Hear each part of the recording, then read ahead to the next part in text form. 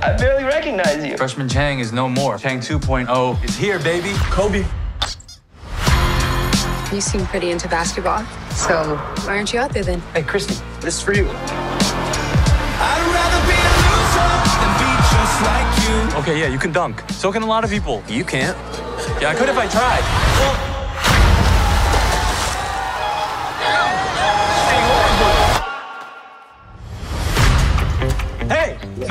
On the night of the last home football game, I bet you I will dunk on that hoop. What are we putting down?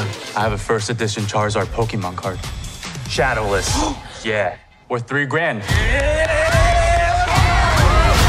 So what's the plan? This guy, she's gonna teach me how to dunk. DeAndre? Hey, you said you were a basketball coach. You said you were six foot. If Chang can't dunk by our last football game, he's gonna have to move to another school. Yikes. I'll do anything you ask me to do. We're gonna do a whole series on you. Yo, I'm Chang and I'm dunking all my haters. Yeah. Oh, you were serious. I'm sorry, bro. We're gonna work on that. You're home away from home. No weight, just you and the bar.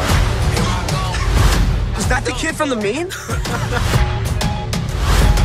I have 10 bucks on you dunking. Oh. Hey, don't worry, my man's got this. I haven't seen him like this before. I thought he quit after a week. Use that cord, Shane, but he didn't. He kept going. Everybody's talking about you, dude. He's 5'8", he's inspirational.